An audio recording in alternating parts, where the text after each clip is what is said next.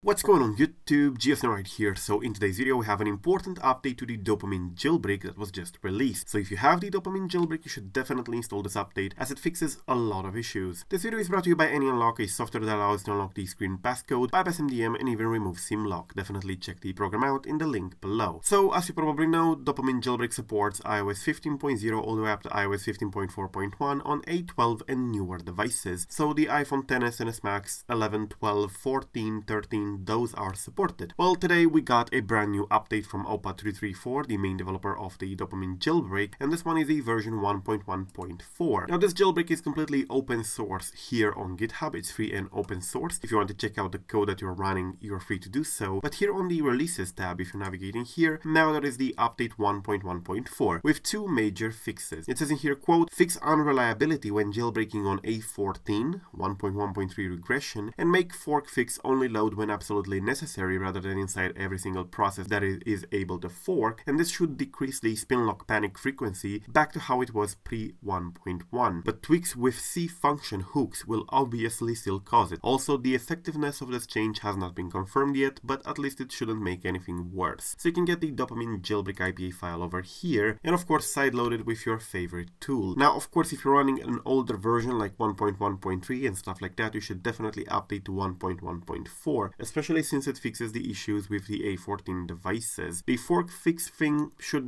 basically decrease the spin lock panics, so your device should reboot much less often in this case. If this is confirmed to work, you should definitely update to it right away. You can update directly from the interface of the dopamine jailbreak. There is an update section in there in the main screen of the jailbreak, so feel free to do so. Now, before I sign off, there is now a jailbreak tool finder that I have created here on my website on idevicecentral.com. You go here to jailbreak finder and it brings you to this tool Here you uh, select your favorite device. For example, it could be an iPhone or it could be an iPad model or even an iPod Touch, currently only iPod Touch 7. And for that device, you get to see if there are any jailbreaks available. For example, for iPhone 12 Pro, if you go in here, it tells you exactly what's going on. For example, iOS 17 beta, 16.6 and 16.5.1 in here are not jailbreakable at the moment and there is no exploit available. For 16.6 beta 1 and for the rest of those in here, all the way down to iOS 15.5, there is a kernel exploit available, not a jailbreak but a kernel exploit available, which can definitely be used and it's already being used in various tools, so a jailbreak is going to come up at some point, so you should stay in this range over here. And for the older iOS versions, you can see a jailbreak is available and is